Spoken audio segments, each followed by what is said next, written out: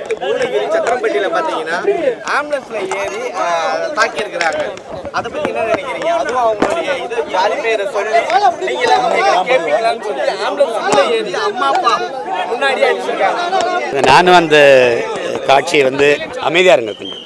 அந்த காட்சியை வலையொலியில் பார்த்தேன் அது மிகுந்த மன வழியை தந்தது. அது வந்து ஒரு கொடுந்துயரம்.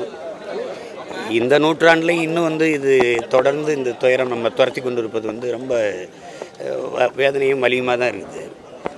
அரசு இதை கடும் சட்டங்கள் மூலமாக இந்த மாதிரி இதில் இந்த மாதிரி செயல்கள் தொடர்ச்சியாக நடக்காமல் இதை தடுக்கணும். அது அது அது வந்து சாதாரணமாக கடந்து போகும்போது இந்த இந்த மாதிரி சம்பவங்கள் வந்து தொடர்ந்துக்கிட்டு தான் இருக்கும். க கடுமையாக அதை நடவடிக்கை எடுத்து க கண்டிக்கணும் கண்டிக்கணும். இல்ல நம்ம எத்தனை படங்கள் எடுத்தாலும் இந்த ஜாதி வந்து ஒழியவே மாட்டாங்க என்னதான் இருந்தாலும் அந்த இனவெறின்றது கரெக்டாக அவங்க காமிச்சு அதுக்கான முயற்சியை வந்து நம்ம கைவிட முடியாது. ஏன்னா இந்த மாதிரி இது இருக்குது அப்படிங்கிறதுலாம். அது திரும்ப திரும்ப அடித்தா தான் இந்த இதை தகர்க்க முடியும். இப்போ ஏன்னா இது வந்து பன்னெடுங்காலமாக இந்த துயரம் இருக்குது இந்த கொடுமை இருக்குது. அதனால் நம்ம முன்னோர்கள் அன்றிலிருந்தே இதுக்கு எதிராக பாடியிருக்காங்க போராடி இருக்கிறாங்க அப்போ அந்த அதன் வழியே தொடர்ந்து போராடி போராடி தான் இதை தகர்க்கணும். இல்லைன்னா அது ஐயோ இருக்கே இது என்ன செய்கிறது அப்படின்னு விட்டுட்டு விலக முடியாது. சமூக நீதியை பற்றி தொடர்ந்து பேசிக்கிட்டு இருக்க இந்த அரசு சமீபத்தில் நடந்த எந்த சாதி வன்கொடுமைக்குமே நிறைய விஷயங்கள் சம்பவத்துக்கு வந்து வழக்கு பதிவும் பண்ணலை. வழக்கு பதிவு செய்தது கைது நடவடிக்கையும் இல்லை. இந்த மாதிரியான திட்டங்கள் அது வழக்கு பதிவு செய்யும் கைது நடவடிக்கை நான் எங்களை தேவையில்லாமல் செய்யும்.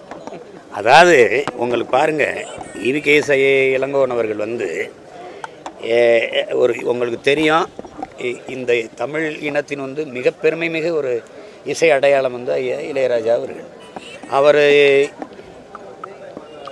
அவரை வந்து எவ்வளவு அசிங்கமாக பேசுகிறாரு பொது மேடையில் வந்து காசு பணம் வந்துருச்சுன்னா நீ உயர்ந்த சாதி ஆயிடுவியா என்ன நியாயம் இது? தபேலா வாசிக்கிறவெல்லாம் இசைஞானியா? எண்பது வயசு ஆயிடுச்சு நீ இளைய ராஜாவா? அப்படின்னா அதே வயசு தான் இவருக்கு ஆகுது. நீங்கள் ஏன் இளங்கோன்னு பேர் வச்சுருக்கீங்க கிளங்கோன்னு வச்சுக்கிறீங்கள அவர் மேலே எந்த வன்கொடுமை வழக்கும் பாயிலையே. அவர் மேலே ஒரு சின்ன நடவடிக்கையில் ஒரு கண்டனமே இல்லையே. ஒரு பொது மேடையில் ஒரு அரசியல் தலைவராக இருந்தவர் இருக்கிறவர் பெரியாரின் பேரன்னு பெருமையாக சொல்லிக்கிட்டு இப்படி பேசுகிறதுக்கு என்ன நடவடிக்கை இருந்திருக்கு?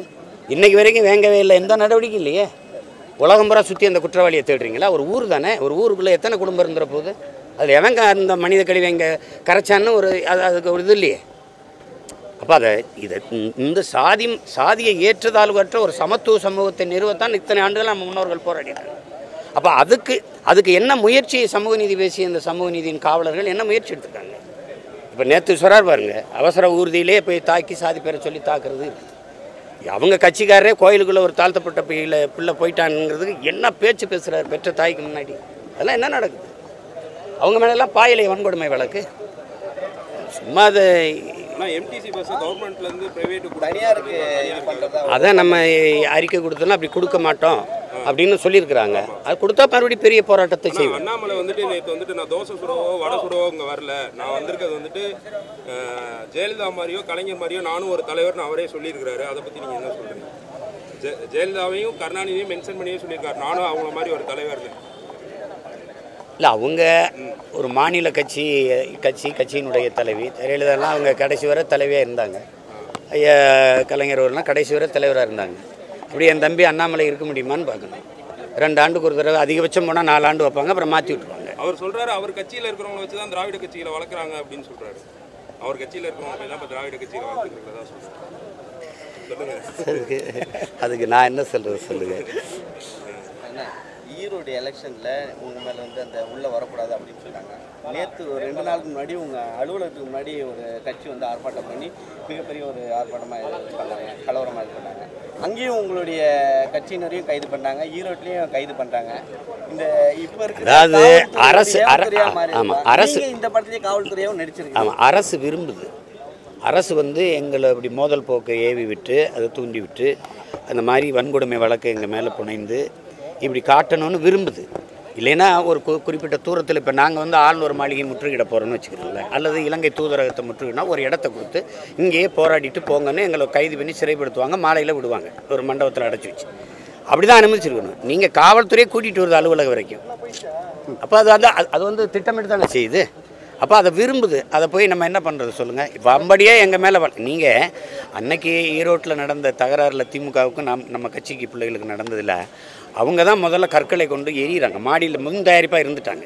இப்போ காரை உடைச்சது நம்ம கட்சி பிள்ளைகள் வண்டி வண்டியை உடைச்சது அவங்க தான். ஆனால் அது எங்கள் கா சொந்த கார் எங்கள் கட்சி பிள்ளைகள் அதை பொது சொத்த சேதமாக்கிட்டோன்னு வழக்கு போட்டு உள்ள வச்சுட்டாங்க.